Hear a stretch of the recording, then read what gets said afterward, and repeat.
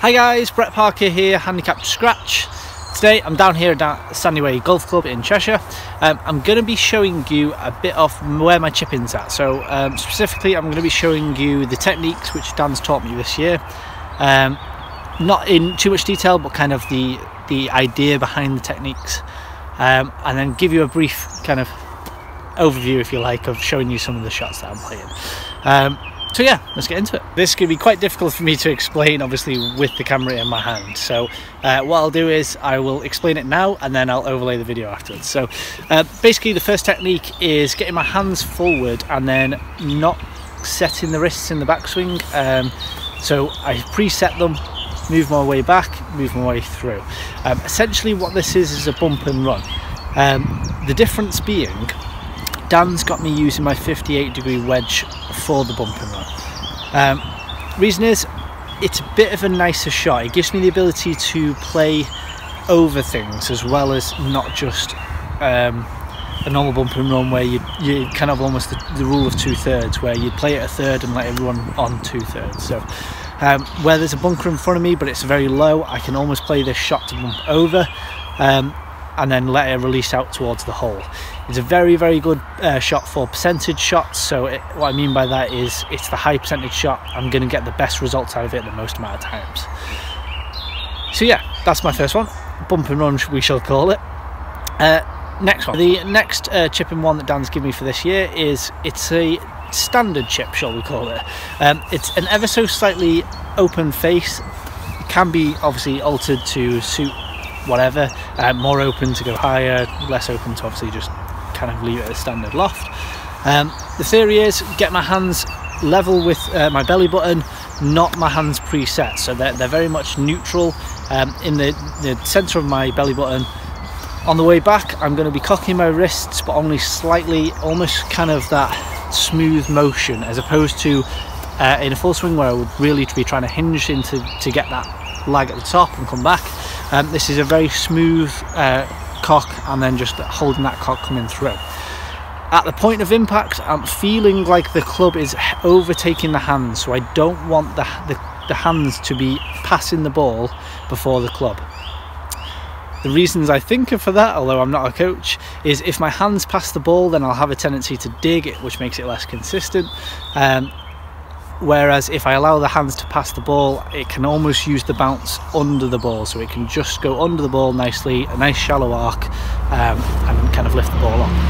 Um, this kind of shot it kind of lifts the ball up very nicely lands but then releases out towards the hole. So this is perfect for those shots where you've got um, a little bit of green in front of you but then there's something that's maybe stopping you water bunker um, a ridge in front of the green which you don't want to bump into. Um, this kind of gives you that shot to lift it up land softly release out a bit. Third shot uh, we'll call this the putter chip. So basically it's very very close to your feet um, and almost playing it like a putter but with a loft. So all this is doing is lifting it it's landing dead and releasing out a little bit. It's perfect for those greenside ones, maybe in the rough, maybe on the fringe, um, where you're just looking to get the ball going really. Uh, maybe there's something in front of you that you can't put through and this is perfect for just lifting it up, maybe a couple of inches, away it goes. Um, it's very again very very good for percentage shots, it's very predictable and you kind of know what you're going to get. Finally, uh, we'll call it the flop shot, although it's not a traditional flop shot. Now what I mean by that is it's not a hit it as high as you possibly can but it is a bit like a flop shot. Um, so with this the stance is a little bit bigger hands drop in between my legs um, open the club face and play the normal flop shot for all you people that are quite keen out there golfers this does represent a very big portion of what a flop shot is. Um, but the stance isn't quite as open. I'm not trying to hit it quite as high. I'm looking for a bit more percentage shots. Um, so I'm not looking to just try and throw it up as high as possible. I am looking for a little bit of consistency with this. Um, what this is going to do, it's going to lift the ball up nice and high, but then drop and land fairly soft with a little bit of run They're my four shots, they're my four chip shots that I've got uh, coming into this year. At the minute, they're very, very new, as in I learnt them this week. So for me, they're it's just all about bedding in at the minute. All it is is is hitting as many balls as I can, trying to get strike and consistency um, and kind of just get, trying to get a feel for it almost and trying to see how they roll out um, onto greens and things so for me right now it's all just about practice practice practice trying to bed these in and then hopefully going back to Dan and then him either working to improve on them or giving me more chip shots of varieties to put in. Um, one of the big things I said to Dan was that I don't have enough variety. Maybe I don't have enough variety. I, I don't understand when to use certain chip shots. So um, I struggle with the ones that should be really easy. For example if I come up short on a apron for a green in the pins at the back I've got all this green to work with I guarantee I ain't getting very close so uh, Dan's gave me a few chips which are very predictable very percentage shots and will allow me to get within decent putting range um, so that's the technique that's the four chips that's um, what I'm working on at the moment for coming into this new year. Um, I'll take you down to the green now, put you on the green side and kind of show you uh, me working on those four different chips.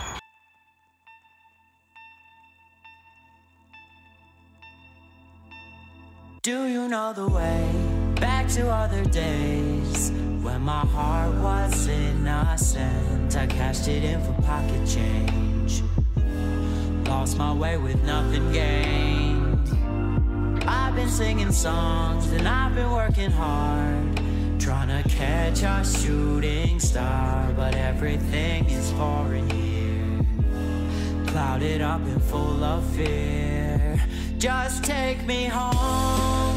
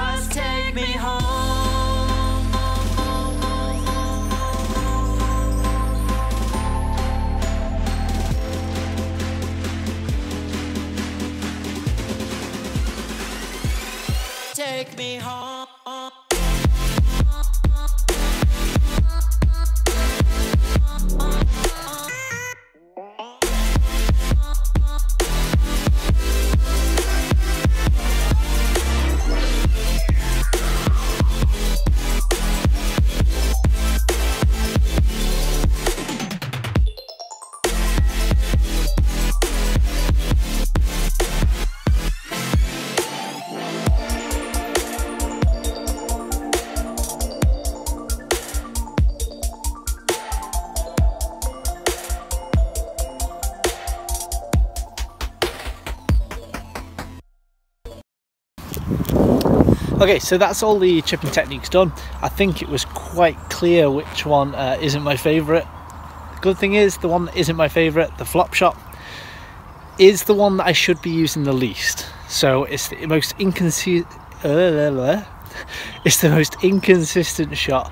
Um, it's very very difficult to get it consistent in terms of weight in terms of strike in terms of trajectory everything is very very difficult shot dan quite rightly pointed out in the lesson this is if this is a shot I need a lot it's more of a course management issue as opposed to a chipping issue. Uh, by that he means that if I always need this shot then I'm missing greens on the wrong sides. I'm missing greens with no space so if the pin's at the left um, I'm missing it left. Well that's a course management issue not a the fact that I can't play the shot.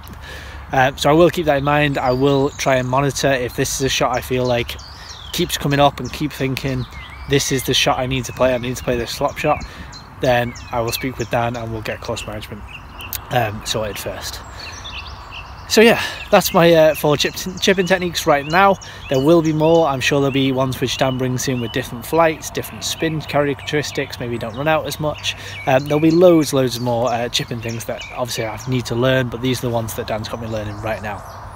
Um, so that's the end of this video. Uh, I thank you very much for watching. If you've enjoyed this style of video, give it a like. Com uh, comment down below. Are you working on your chipping this year? Um, and if so, what kind of chipping techniques are you using? Are you using any of the ones that are in this uh, video? Um, if you're not already subscribed, click the subscribe button down below. It's completely free to do so. All you need is a Google Gmail account, which is also free to set up. Um, just simply click the subscribe button down below. Thank you very much for watching the video, and I'll catch you in the next one.